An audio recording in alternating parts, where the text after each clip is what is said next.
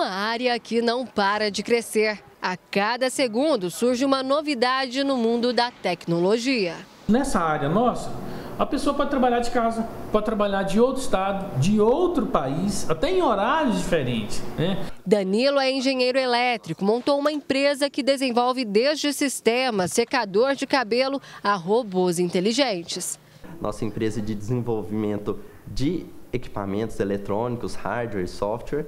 Então, nós viemos com esse desenvolvimento há dois anos e meio. Danilo e os sócios entendiam tudo de tecnologia, mas precisavam de ajuda para manter a empresa, que existe há pouco mais de dois anos. Conseguiram apoio nos cursos oferecidos pelo Sebrae. No dia a dia, nós temos um programa no Sebrae chamado Sebrae Tech esse programa ele aproxima demandas de, por tecnologias do mercado em algumas áreas do conhecimento, tais como as tecnologias da informação e comunicação, a propriedade intelectual, que é todo o registro do conhecimento desenvolvido pelo negócio, o registro da marca da empresa, o registro e a patente de um determinado produto né, o desenho industrial daquele produto para que ele tenha a proteção do conhecimento gerado pelaquela empresa. Eu estou aqui do lado do Matheus, que é programador, ele trabalha numa empresa de desenvolvimento de softwares. Agora, explica para gente, Matheus, essa é uma área que pouca gente conhece a fundo, né? O que é um software, o que faz um programador? Explica isso para gente.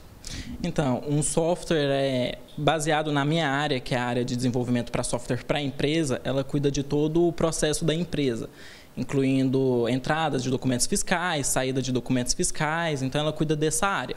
É, o meu trabalho hoje na empresa é desenvolver o sistema da empresa e dar manutenção no sistema da empresa. Então eu dou manutenção, é, conserto alguns erros de sistema, alguma coisa nesse sentido, ou uma melhoria no sistema, uma evolução que o sistema pode vir a ter. Marcos, que é presidente do Sind Informática e dono da empresa em que o Matheus trabalha, diz que esse é um mercado que não para de crescer e que tem um leque de oportunidades de emprego.